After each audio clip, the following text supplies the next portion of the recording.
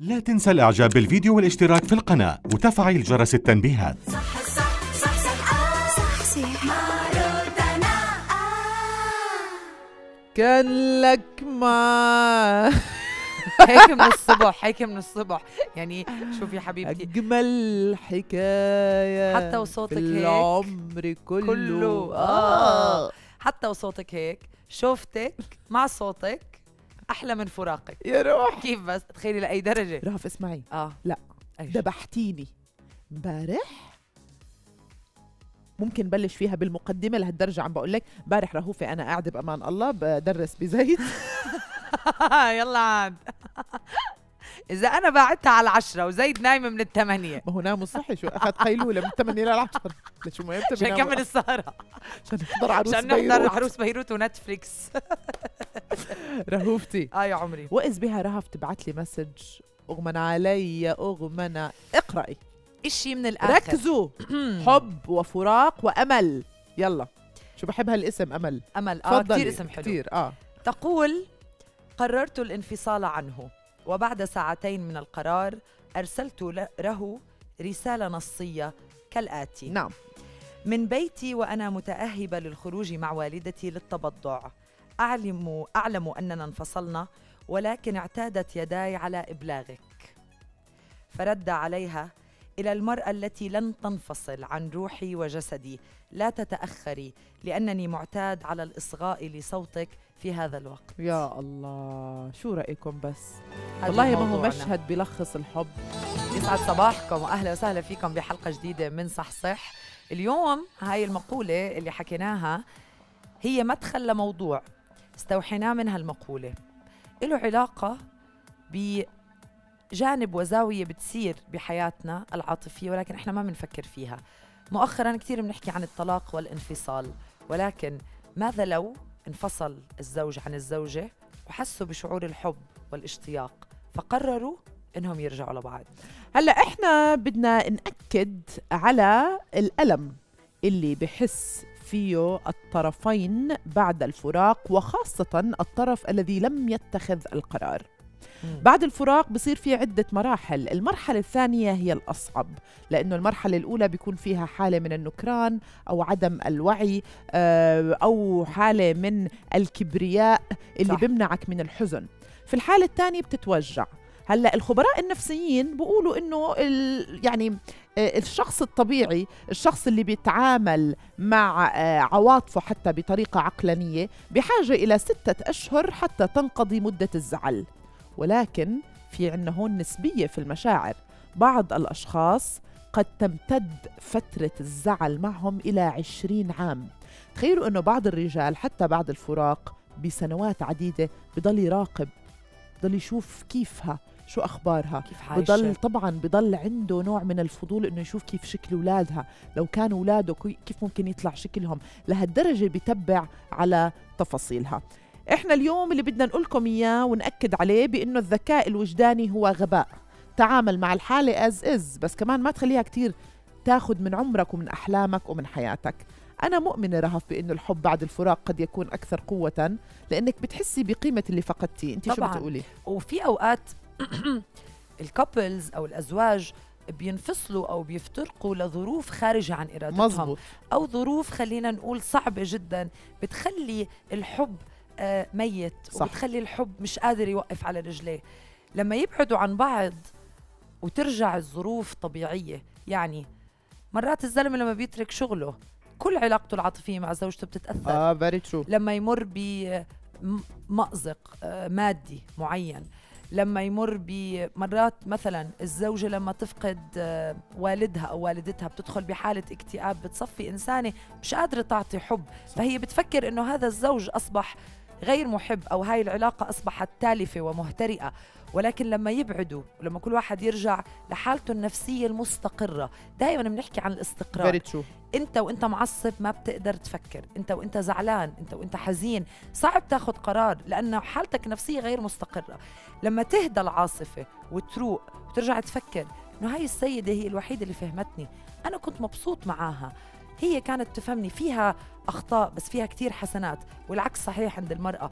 فأعتقد إنه في بعض حالات الطلاق والانفصال ما بيكون في شرخ كبير بيكون في تفاصيل أصبحت مزعجة والحياة صارت باردة فالناس تستسهل الانفصال. تستسهل الانفصال. بس رهوفتي انت حكيتي شغلة هلأ لذيذة. مم. القرار وانت زعلانة ما تاخذي قرار وانت كثير مبسوطة ما طبعا تاخذي قرار. طبعا. حتى آه. في عز فرحك ما تاخذ قرار. أي شيء زيادة. أي شيء زيادة. أي شيء اكستريم ما. تبني عليه أي قرار.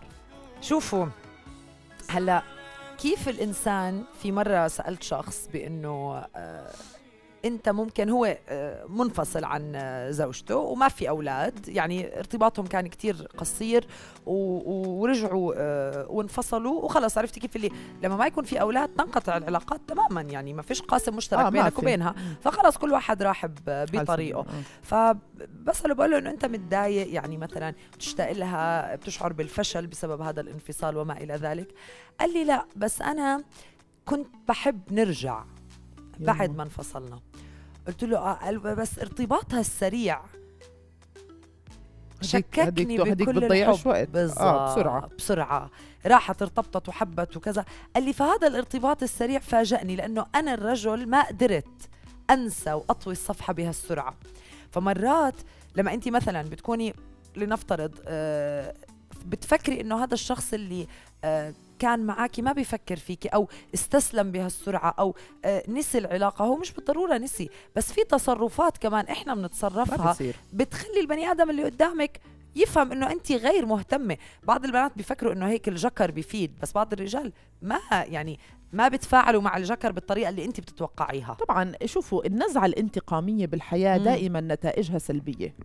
عمرك ما تنتقمي من شخص آه، أذاكي. آم، أنا بنظري دعوا الخلق للخالق. حتى إذا تعرضت إلى أسوأ أنواع الغدر والخيانة من صديق من زوج من شريك حياة من من من من زميل بالعمل ما تفكر ما تستنفذ وتستهلك طاقتك في التفكير الانتقامي. لأنه آمن جدا بأنه وعلى الباغي تدور الدوائر. ما في لا يصح إلا الصحيح وما بني على باطل فهو باطل. هلأ انفصلتي أنت وشخص. أنا بقول خدي اتليست سنة أنت وياها. هاي السنة حتى ما يكون فيها أي نوع من أنواع العلاقات العاطفية حتى وإن كانت علاقات سطحية. أنا ضد مبدأ ما بنس الزلمة إلا الزلمة وما بنس آه أنا زيك طبعا. ضد هذا المبدأ لأنه آه الشريك المناسب إحنا ما بنلاقيه على رف بكارفور. طبعا صح صح صح صح صح. ممكن يكون شخص كتير منيح بس ما بيناسبني ما بقدر أكمل معه 20 و30 سنة.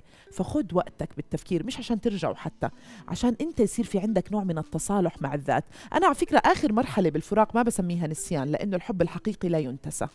إذا أنت بتحب جنيوينلي من قلبك ما بتنسى.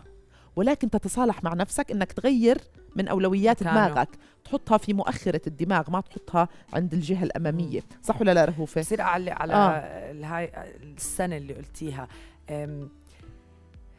بالعالم كل الأخصائيين النفسيين بيقولوا إنه الإنسان بعد أي علاقة عاطفية بيكون بحاجة لفترة نقاهة. أيوه. إذا انتهت هاي العلاقة.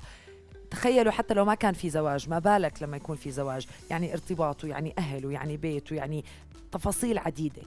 بعد ما تنتهي هاي العلاقة أنت بتتوقع أنه أنت روحك من جوا وقلبك ما اهتروا؟ بدهم ما ترميم. تعبوا؟ ما بدهم ترميم؟ طبعا. زي لما الواحد بتعرض لإصابة مش بقعد سنة يعمل فيزيوثيرابي الله عليك. طب صحتك النفسية ما بدها علاج طبيعي ما بدها هدوء ما أكيد. بدها رواء ما بدها دادي دادي ترجع توقف على رجليها وترجع تمشي. ف ال ال هاي الرش من علاقة لعلاقة لعلاقة على أساس إنه أنا محبوب أنا ما حدا بيأثر فيي أنا مبسوط. أنت بالنهاية رح تقعد بيوم وتسقط على الأرض طبعاً. صدقني وما يكون ضايل عندك طبعا. نقطة حب تعطيها. طبعا. فاللي بفهم بيعمل نقاهة بيرتاح بي لحالك. بيلملم أجزاء نفسه. الله عليك. آه. هذاك اليوم حكيت شغلة رهوف. أصعب فراق هو فراق الذات. طبعا. إنك تفارق حالك. شوف ما في شخص ما بتستمر بعده الحياة. للأسف حتى أمهاتنا وآبائنا. I'm sad to say this.